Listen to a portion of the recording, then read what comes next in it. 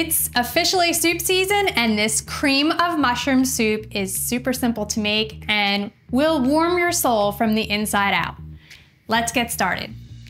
Hey everybody, I'm Kellie with the Suburban Soapbox and today we are making a super creamy cream of mushroom soup and it's so easy to make. You're going to use fresh button mushrooms, a little bit of half and half. You can use vegetable stock or chicken stock, onions, herbs, garlic, a little bit of cornstarch for thickener, butter, and Worcestershire sauce. This comes together in minutes and it is a great weeknight dinner. So to start, we're just gonna move over to the stove and we'll cook up some soup. First, we're going to heat the olive oil and the butter in a large, heavy bottom saucepan over medium heat. Once your butter is melted and your oil is shimmering, add the onion to the pan just give a little stir and cook it until softened. This is gonna take about four to five minutes. Next, stir in the mushrooms and we're gonna cook the mushrooms until they're golden and softened. That's gonna be an additional four to five minutes. The recipe calls for button mushrooms or white mushrooms, which are really common in grocery stores, but you can use a sliced porcini, you can use the baby bella mushrooms. Really, any type of mushroom will do really well in this soup. Sometimes I even use like a medley of mushrooms, which is just a mix of whatever mushrooms I can find at the store. Add the garlic, thyme, and bay leaf and cook for one minute.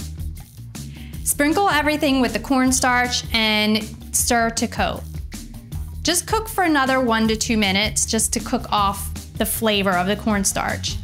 Next, whisk in the chicken broth and bring it to a boil. I use chicken broth in my recipe just because it gives it a little extra depth of flavor, but if you wanna use vegetable broth or vegetable stock, mushroom stock, those are great substitutes and they taste equally amazing in this soup.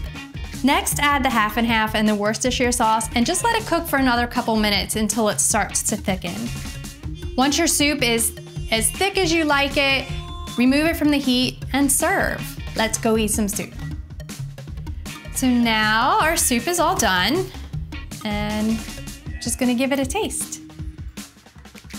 It's so creamy, and if you want it to be even thicker, you can just add a little more cornstarch to it splash of white wine when you're deglazing the pan is not a bad idea either.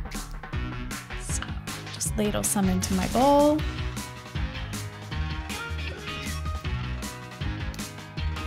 So now I'm just gonna give it a taste, make sure it's seasoned properly, and then maybe I'll share with others. Mmm, it is so good.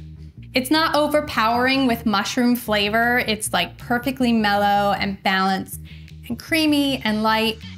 It is the perfect soup. If you like this recipe, please be sure to give me a thumbs up and subscribe to my channel. For more easy recipes, visit thesuburbansoapbox.com. Thanks again.